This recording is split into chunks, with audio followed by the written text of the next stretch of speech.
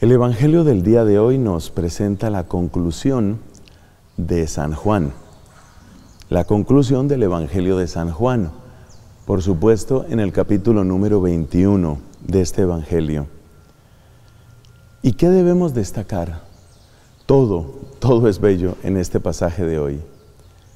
Ante todo, es hermoso aquello de que las palabras mismas del Evangelio han sido escritas para que nosotros sepamos que sí tenemos vida.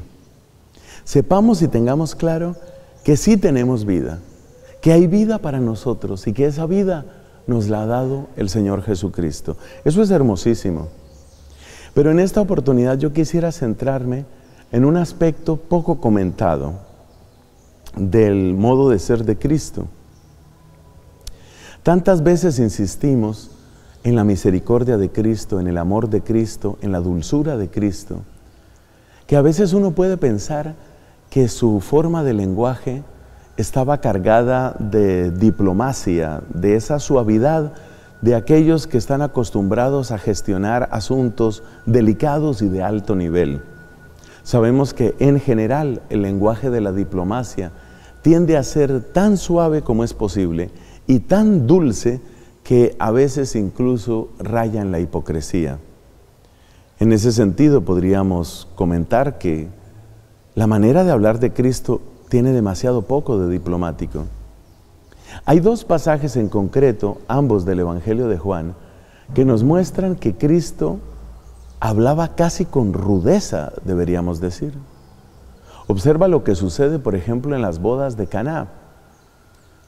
María, la mamá, María, su madre, le dice, no tienen vino.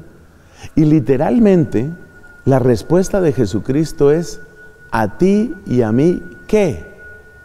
No ha llegado la hora. Es una respuesta que muchos casi clasificaríamos como grosera. A ti y a mí, ¿qué? No ha llegado la hora. Y luego en el pasaje de hoy, capítulo número 21, ya dije, Pedro le pregunta a Cristo, Cristo resucitado, bueno, ¿y este qué? Refiriéndose al discípulo amado, a quien toda la tradición prácticamente identifica con Juan. Bueno, ¿y qué pasa con Juan? El que habla es Pedro y Pedro le pregunta a Cristo, bueno, ¿y qué va a pasar entonces con San Juan? Y la respuesta de Jesucristo es, ¿a ti qué? ¿A ti qué? Si yo quiero que Él permanezca hasta que yo vuelva, ¿a ti qué? Casi como si le dijera, traduciendo un poco en lenguaje coloquial colombiano, ¿cuál es el problema? A ver, y si yo quiero que Él se quede hasta que yo vuelva, ¿cuál es el problema? ¿Qué le pasó a usted? Ese modo de hablar de Cristo, ese modo casi rudo de hablar de Cristo, nos confronta de una manera cruda nos confronta de una manera que no estamos acostumbrados o que no concuerda mucho con la idea, repito, que muchas personas tienen con respecto al Señor. Porque mucha gente tiene esa idea que ya hemos dicho, de que Cristo era así como súper suave, como tratando de quedar bien con todos, como tratando de no disgustar a nadie, como obsesionado con no lastimar ni incomodar a ninguna persona. Pero por favor convenzámonos, ese no es Cristo. Entonces debemos decir que Cristo era maleducado, que Cristo era grosero. Bueno, en primer lugar hay que tener en cuenta que la gente de otros tiempos tenía muchas menos diplomacias que nosotros. Eso es evidente. Eso es algo que se nota y se nota por una razón. Porque mira que incluso la palabra urbanidad, ¿qué quiere decir urbanidad? Esa palabra que indica precisamente esa clase de destrezas, necesarias para desenvolverse en sociedad.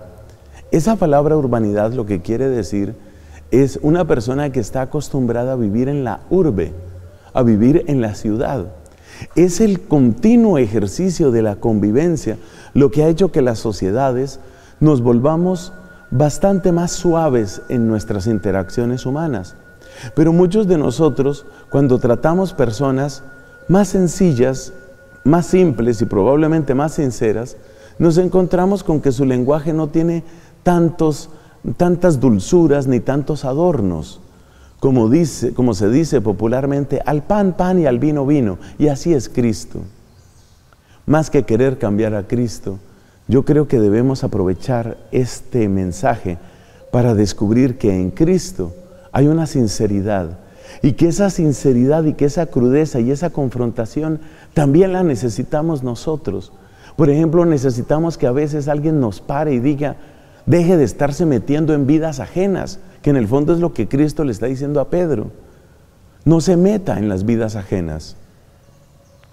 Una cosa es que usted sea servidor de otras personas y otra cosa es que usted quiera manejarle la vida a otras personas. Así que no se meta en vidas ajenas. Es un mensaje duro, pero es un mensaje provechoso, saludable y sobre todo súper sincero.